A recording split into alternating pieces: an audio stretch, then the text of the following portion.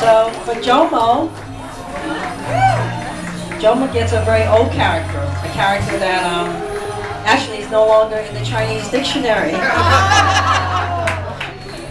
and it's the original character for Qi. Right? As some of you know from your history class, Qi is someone who sees heaven and who is so enthused about seeing heaven that they try to reach for heaven with their arms and their legs jumping up.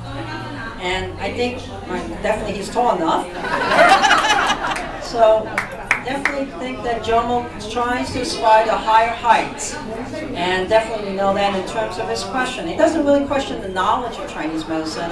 He very often questions the purpose of Chinese medicine.